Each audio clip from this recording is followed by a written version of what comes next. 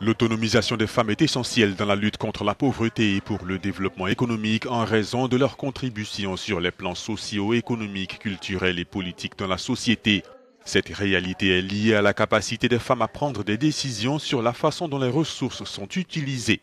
Pour parvenir à cette autonomisation, le FENU, organisme d'investissement en capital de l'ONU et ses partenaires ont organisé un forum à Kampala en Ouganda. Qu'est-ce que cette conférence a essayé de faire elle a essayé d'aider les gens à mieux comprendre la vie des femmes, les forces des femmes et comment en tirer parti dans le but d'améliorer les capacités de 50% de la population en termes d'acquisition de clients, ce qui est un énorme défi pour nos fournisseurs financiers numériques, ainsi que pour l'amélioration de leur réseau d'agents et de leur activité en général.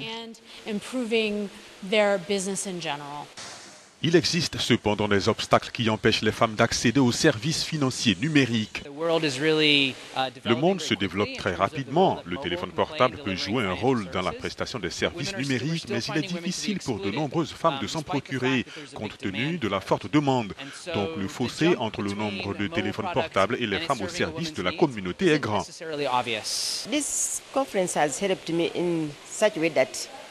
Cette conférence m'a aidé. Nous sommes en mesure d'identifier la plupart des défis auxquels nous sommes confrontés dans notre domaine.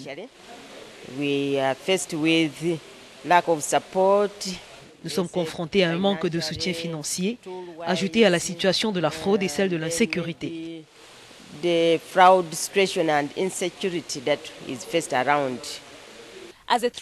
Au sortir de cette conférence, retenons que les femmes se veulent actives sur la scène des services financiers et numériques. Par conséquent, il est essentiel de les sensibiliser davantage afin de combler les écarts qui les séparent des hommes pour une meilleure inclusion financière.